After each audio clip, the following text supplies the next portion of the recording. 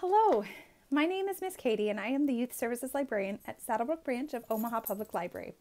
Today we're going to be talking about background knowledge, specifically about small, medium, and large or big.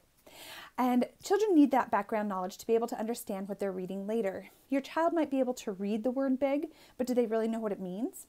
The concepts of small, medium, and big can be done using a familiar nursery song. And we're going to use exaggerated movements and using our voice as a kind of dramatic play. And that's going to help internalize that song and that concept for the child. So here we go. Can everyone show me your thumb? Good job. Now on your other hand, show me your pointer finger and smush them together just like that. Keep them smushed and then bring up your other thumb and point your finger and smush them together. And then you have this little diamond here. And then we're going to take the bottom two and lift that up and up and up. And you just keep going up like this.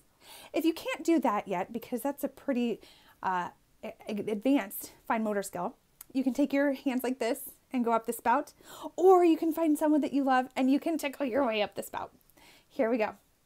The itsy bitsy spider went up the water spout.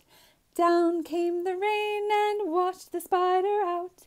Out came the sun and dried up all the rain, and the itsy bitsy spider went up the spout again. So itsy bitsy is our normal size spider or a medium spider. But did you know that he had a big brother? And his big brother's name was the big fat spider. Here we go. We're going to really exaggerate our movements and have a really big, deep voice. Here we go. The big fat spider went up the water spout. Down came the rain and washed the spider out. Out came the sun and dried up all the rain. And the big fat spider went up the spout again. Good job. So we had our big spider and our medium spider.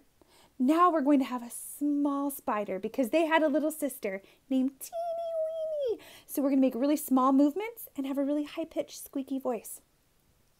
The teeny weeny spider went up the water spout. Down came the rain and washed the spider out. Out came the sun and dried up all the rain. And the teeny weeny spider went up the spout again. Good job. So teeny weeny is our small, itsy bitsy is our medium, and our big fat spider was our big. So, adults, now you can look around the house and find things for you and your child to decide whether it's small, medium, or big.